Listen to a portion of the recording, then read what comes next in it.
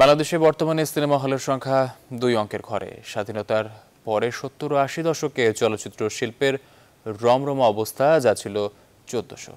সম্প্রতি এমন তথ্য উঠে আসে, সিনেমা হল বাঁচলে চলচ্চিত্র বাঁচবে প্রতিপাদ্য বাংলাদেশ চলচ্চিত্র প্রদর্শক সমিতি আয়োজিত এক মতবিনিময় সভায়, যেখানে প্রধানমন্ত্রী কর্তৃক ঘোষিত বাংলাদেশ ব্যাংকের ছাড়কৃত এক হাজার কোটি টাকার তহবিলের সুষ্ঠু ব্যবহার নিশ্চিতে আলোচনা করা হয়। আব্দুল সালাম বাবুকে সাথে নিয়ে বিস্তারিত জানাচ্ছেন ফতমা কৌসার।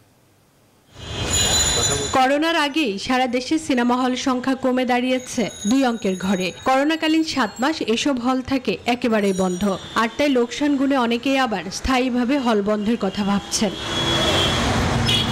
এমন বাস্তবতায় সরকার সিনেমা হল বাঁচিয়ে রাখতে এক হাজার কোটি টাকার বিশেষ তহবিল ঘোষণা করে গত বছর, যা হল সংস্কার, নতুন হল নির্মাণ এবং হল আধুনিকায়নে স্বল্প সুদে দীর্ঘমেয়াদে পাবেন হল মালিকরা। সম্প্রতি বাংলাদেশ ব্যাংক থেকে প্রকাশিত প্রজ্ঞাপনে জানানো হয় ঋণ গ্রহণের পদ্ধতি। বলা হয় প্রথম ধাপে বিতরণ করা হবে পাঁচশো কোটি টাকা। হল মালিকদের ঋণ পেতে সকল ধরনের সহযোগিতা করছেন বাংলাদেশ চলচ্চিত্র প্রদর্শক সমিতির নেতারা। এরই ধারাবাহিকতায় বগুড়ায় নির্মিতব্য মধুবন সিনেপ্লেক্সে একটি হল রুমে অর্ধ শতাধিক হল মালিকদের সাথে আয়োজন করা হয় এই মতবিনিময় সভার।